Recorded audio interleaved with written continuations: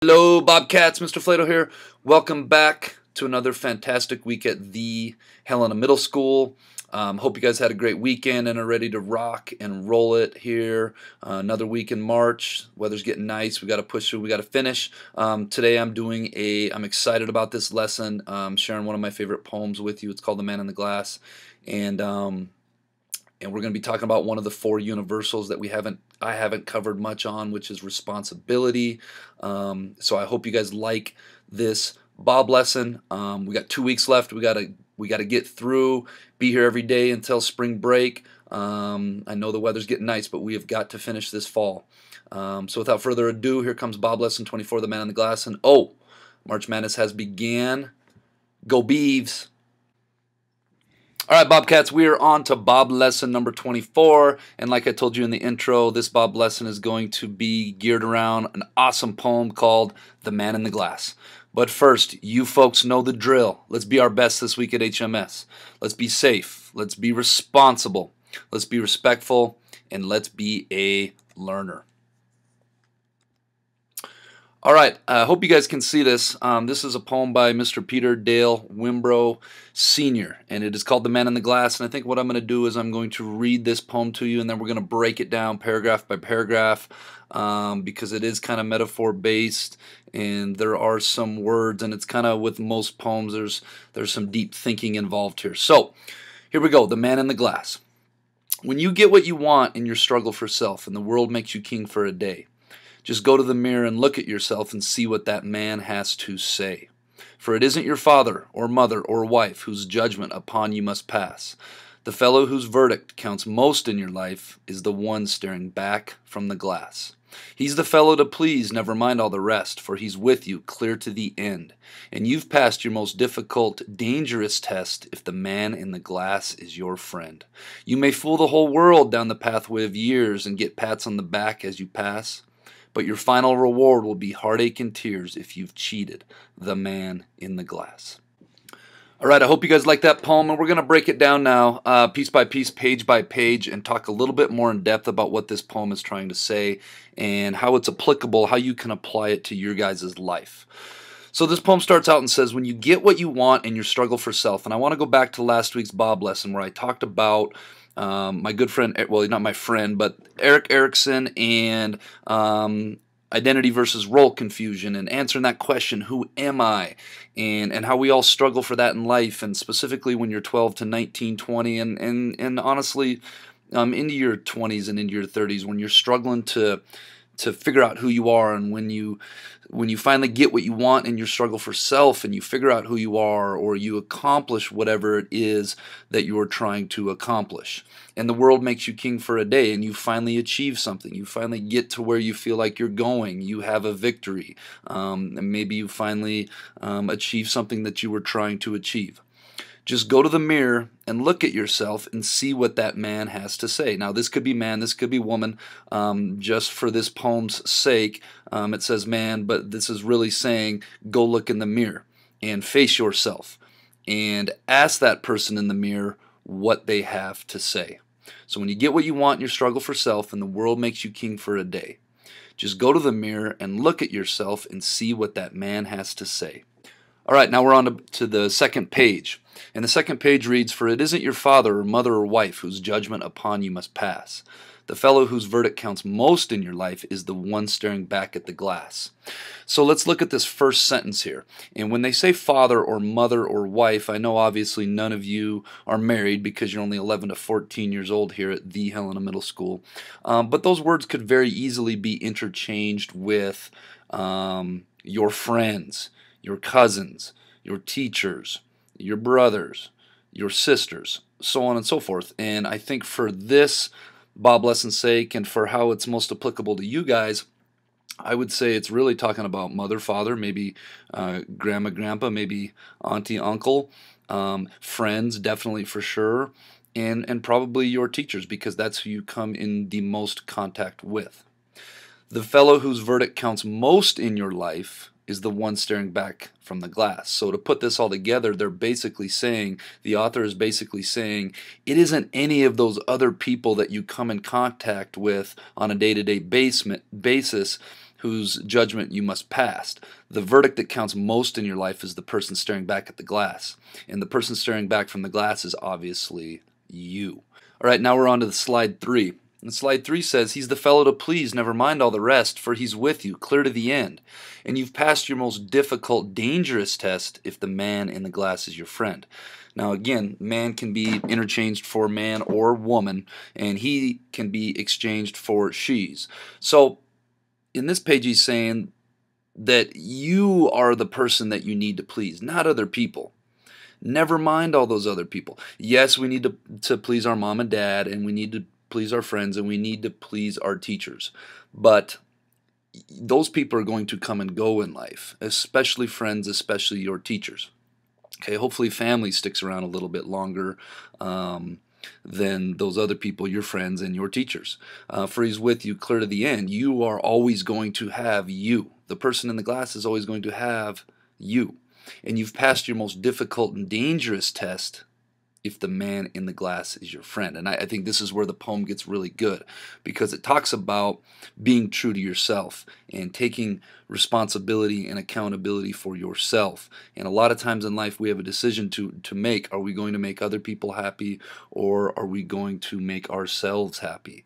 And um, I think we need to take care of ourselves first and foremost and do what's best for us always in life um, because we can't be helpful to other people if we're not taking care of ourselves.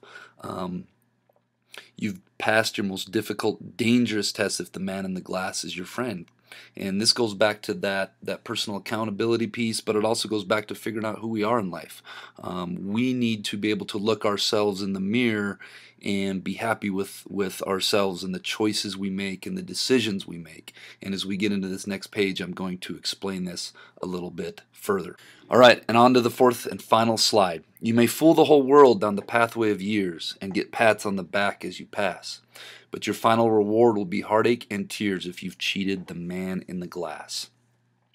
Let's start with this first sentence. You may fool the whole world down the pathway of years.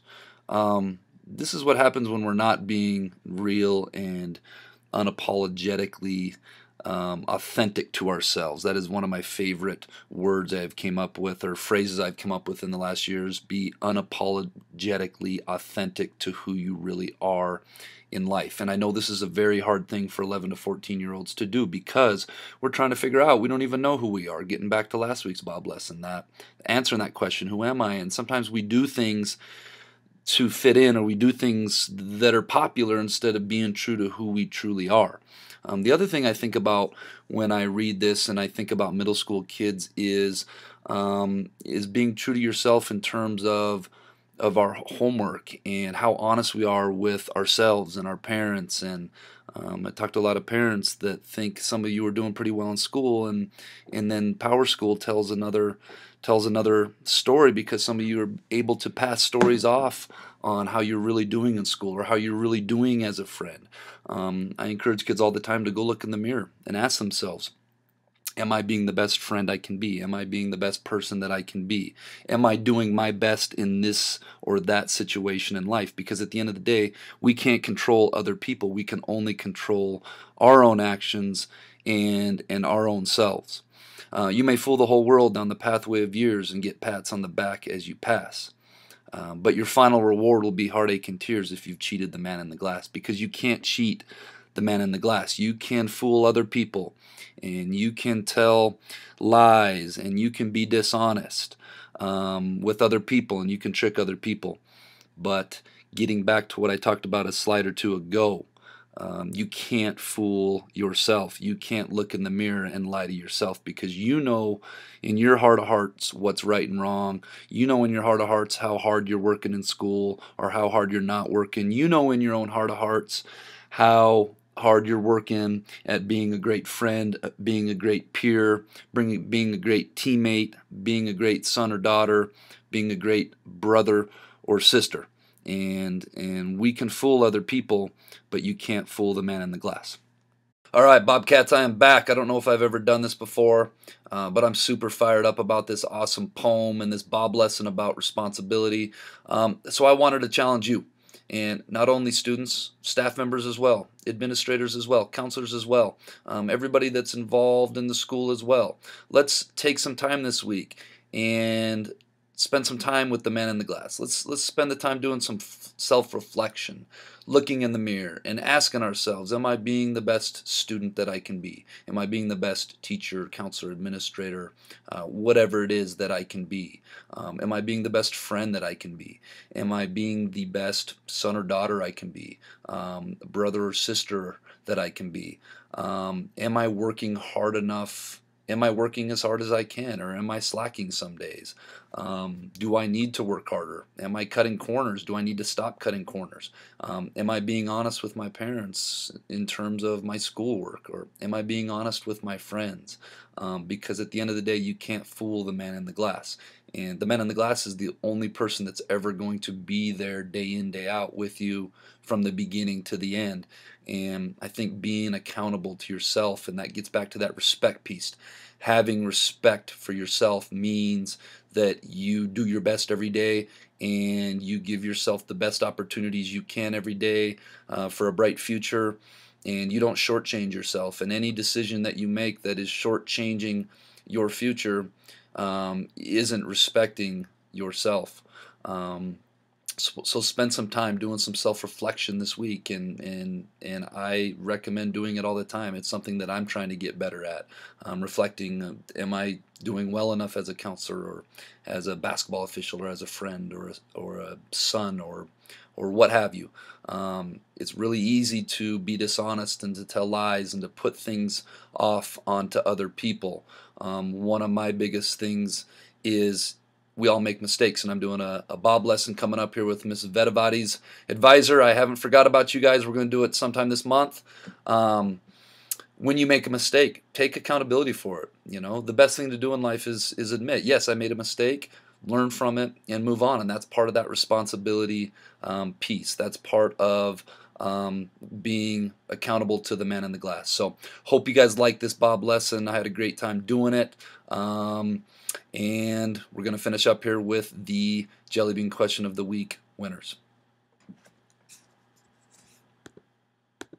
All right, and our quote of the week comes from uh, Miss Anne Frank. Anne Frank was a, a Jewish Holocaust survivor, and she was an author and, and wrote some some books and some different documents um, after she got out of the concentration camp. And her quote was The final forming of a person's character lies in their own hands. And that's what the man in the glass is about. That's what personal responsibility is about. Um, it's not anybody else's fault what happens to us in life, um, but our own. We control our own destiny and we control our own outcomes. All right, Jellybean question of the week winners. Last week's question was this five letter word becomes shorter when you add two letters to it. Many of you got this, and the word was short. Um, get it? Short, shorter. Um, I hope you guys like that one. Um, and a special shout out to my man Hollywood, Kale. Um, he decorated the Bob box. Many of you ask where these questions go, so I thought I would take a picture. So you come in the counseling department here, and there's a Bob box with Bob right there um, sitting right there. Submit your answer before Friday um, every week if you'd like a chance to win Jelly Bean. Speaking of Jelly Bean, question of the week winners Charles Barnett, Laurel Whitlatch, Isaac Nearing, Wyatt Robertson, and Teague Eblin. Um, come and see me sometime before school, after school this week. Bring a friend. Rumor on the street is they get jelly beans too. This next jelly bean question of the week winner, or excuse me, question of the week riddle is what is the next number in the sequence? So it goes 1, 11, 21, uh, 1211, uh, 111221, 312211. If you think you know, get your answer in and get it submitted. All right, folks, let's make it a great week at the Helena Middle School.